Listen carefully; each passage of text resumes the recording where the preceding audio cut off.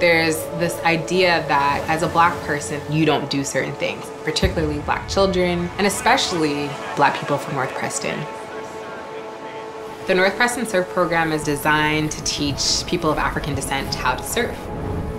When we first started having conversations about potentially offering a surfing program, I would talk to people and I would see their faces change.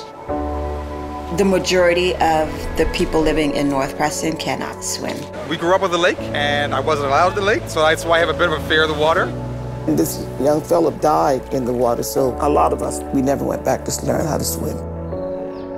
There's this element and reality of trauma. It's amazing now to go to the beach and to see lots of people of color. It changes what we believe is possible.